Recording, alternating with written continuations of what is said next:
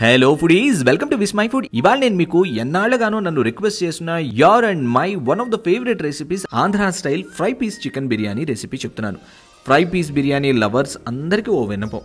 ఇది సామూహికంగా రాష్ట్రం యావత్తూ ఒకే తీరుగా చెయ్యనే చేయరు ప్రాంతాన్ని బట్టి చిన్న చిన్న మార్పులు చేర్పులు కూర్పులు ఉంటాయండి.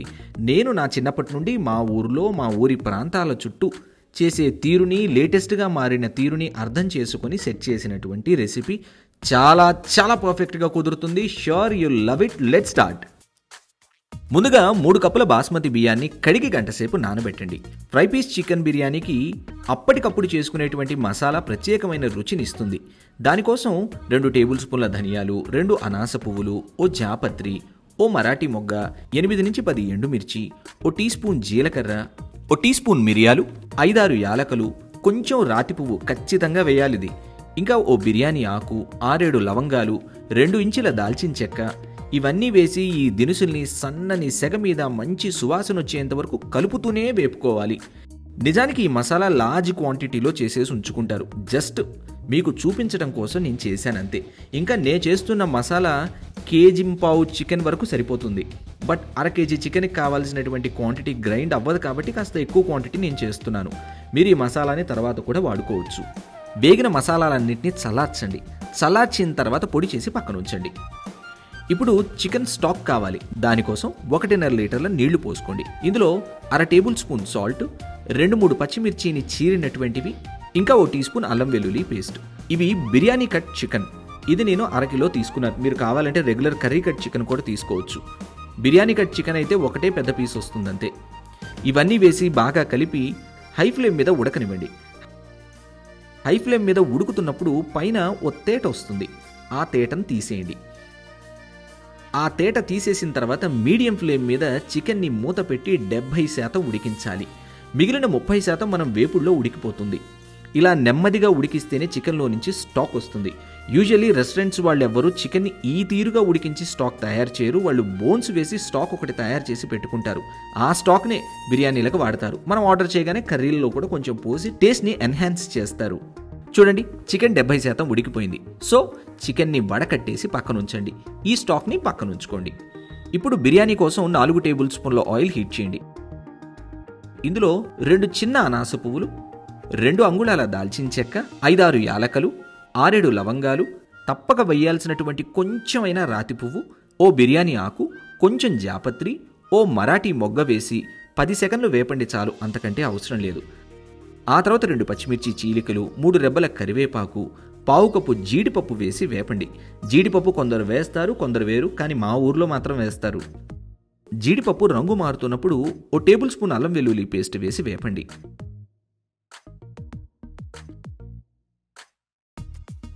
కొంచెం కొత్తిమీర కొంచెం పుదీనా తరుగు వేసి బాగా కలుపుకోండి. ఆ తర్వాత మూడు కప్పుల బియ్యానికి మనకి డబుల్ ఎసర్ కావాలి. మనకి సుమారుగా రెండు ముప్పావు నుంచి మూడు కప్పుల దాకా స్టాక్ వస్తుంది. ఆ వచ్చినంత మేర స్టాక్ పోసేయండి. మిగిలినది నీరు పోసేయండి. మనకి స్టాక్లో ఉప్పు ఉంది సో మితంగా ఉప్పు వేసుకోండి. ఇప్పుడు ఈ స్టాక్ని మీడియం ఫ్లేమ్ మీద బాగా మరగనిస్తే ఫ్లేవర్స్ అన్నీ స్టాక్లోకి ఇన్ఫ్యూజ్ అవుతాయి. స్టాక్ బాగా తెల్లుతున్నప్పుడు నానబెట్టుకున్నటువంటి బియ్యం వేసి కలిపి మీడియం ఫ్లేమ్ మీద బియ్యంలోని ఎసరు ఆవిరయ్యేంత వరకు ఉడికించండి. ఆ తర్వాత సిమ్లో ఐదు నిమిషాల పాటు ఉడికించి స్టవ్ ఆపేసి అలా వదిలేయండి. మామూలుగానేనండి మనం అన్నం వండుకున్నట్టు. ఇది ఉడికేలోగా చికెన్ ఫ్రై చేసుకోవాలి. దానికోసం ఐదు టేబుల్ స్పూన్ల ఆయిల్ హీట్ చేసుకోండి. ఇందులో రెండు పచ్చిమిర్చిని చీరినటువంటివి ఇంకా ఓ పెద్ద ఉల్లిపాయ సన్నని చీలికలు ఇంకొంచెం కొత్తిమీర కాస్త పుదీనా ఆకు తరుగు రెండు మూడు రెబ్బల కరివేపాకు వేసి ఉల్లిపాయల్ని కాస్త రంగు మారనివ్వండి. ఉల్లిపాయలు పింక్ కలర్లోకి మారతాయి. అప్పుడు ఇందులో ఓ టీ స్పూన్ అల్లం వెల్లుల్లి పేస్ట్ వేసి వేపండి. ఆ తర్వాత డెబ్బై శాతం ఉడికించుకున్నటువంటి చికెన్ ఉంది కదా అది వేసుకోండి. ఇందులోనే చాలా మితంగా ఉప్పు పావు టీ స్పూన్ పసుపు వేసి చికెన్ని బాగా కలపండి. ఆ తర్వాత ఒకటిన్నర టేబుల్ స్పూన్ల నుంచి రెండు టేబుల్ స్పూన్ల దాకా కారం అవసరమవుతుంది మీ స్పైసీకి తగినట్లుగా అడ్జస్ట్ చేయండి. ఇంకా మనం గ్రైండ్ చేసుకున్నటువంటి మసాలా పొడి ఉంది కదా అది అర టేబుల్ స్పూన్ వేసి వేపండి. మసాలా పొడి ఒకేసారిగా వేసేస్తే మాడిపోతుంది. సో కొంచెం కొంచెంగా వేయండి. ఈ అర టేబుల్ స్పూన్ మసాలా పొడి వేసి బాగా కలిపిన తర్వాత మసాలాలు మాడకుండా ముందుగా అరకప్పు నీరు పోసి బాగా కలిపి దగ్గర పడినివ్వండి.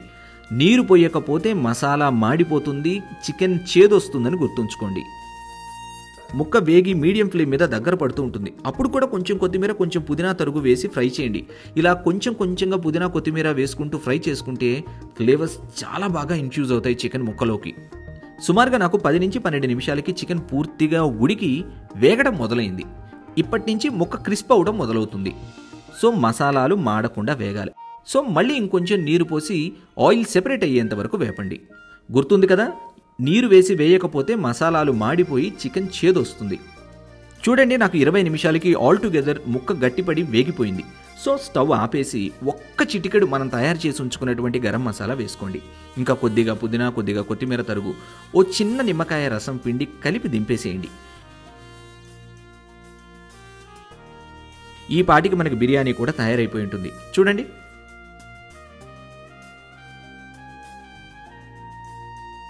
ఇప్పుడు సర్వింగ్ బౌల్లోకి ముందు రైస్ వడ్డించండి.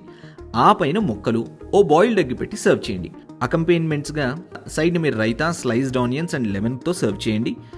చాలా చాలా బాగుంటుంది. ట్రస్ట్ మీ మీరు the best fry piece chicken బిర్యానీని ఆస్వాదిస్తారు.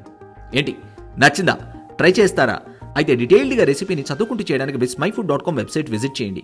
అలాగే మీరు తయారు చేసిన ఆ రెసిపీ పిక్ని నాతో విస్మై ఫుడ్ ఇన్స్టాగ్రామ్ని ఫాలో అవుతూ ట్యాగ్ చేయొచ్చని గుర్తుంచుకోండి.